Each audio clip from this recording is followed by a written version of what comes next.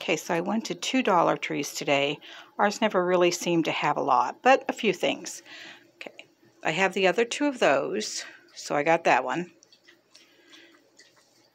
And these are knee pads. I don't know if there's enough foam to really be helpful, but we're going to try them.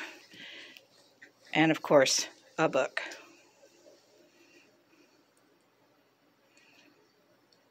The Jobe's are for flowers. I have the houseplant ones. Hopefully these will be good. Cleaning stuff. These say they're for the Swiffer Wet Jet, so I've never seen them. We'll try them.